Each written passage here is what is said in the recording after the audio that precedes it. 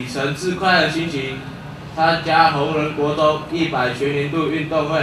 运动员代表宣誓，红人国中四十一周年庆正式来展开。看到校庆校风嘛，特别邀请各界贵宾登来学校做领导热烈，尤其看到校这几年来，不管是学科，或者是体育、音乐各方面表现勇敢，成绩一年比一年也更加进步。真侪校友拢真欢喜，嘛感觉真骄傲。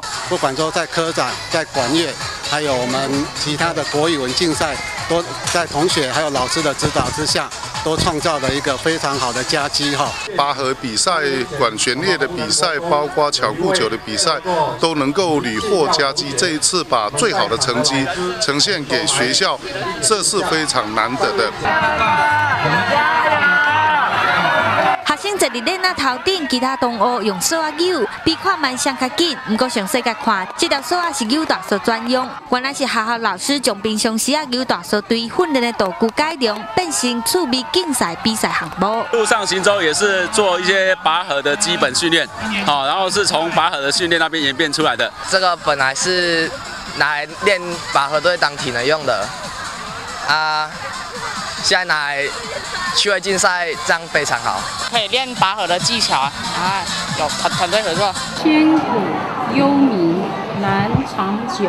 除了动态竞赛以外，重视五育并进的红林国中，嘛趁着校庆这个大日子。伫各班级的门口，有学生囡仔动手写春联，布置教室，展现学生艺文的能力。写下这些春联，那并且做一个布置。那一来是为了庆祝学校的呃校庆啊，让学校有一个比较欢庆的感觉。